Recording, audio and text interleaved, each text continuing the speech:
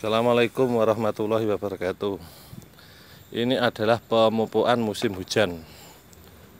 Jadi kalau musim hujan kita melakukan pemupukan dicampur dengan kapur pertanian. Ini berfungsi untuk pengendali jamur dan menstabilkan pH tanah.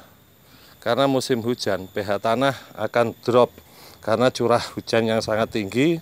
Dan kalau pH tanah di bawah 5 nanti yang jelas akan rawan jamur.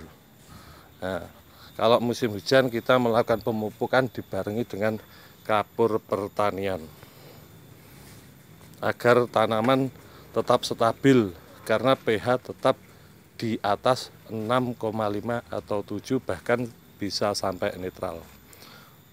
Penting untuk pemberian kapur pertanian di samping pengendali jamur juga untuk penetralan pH akibat curah hujan yang sangat tinggi.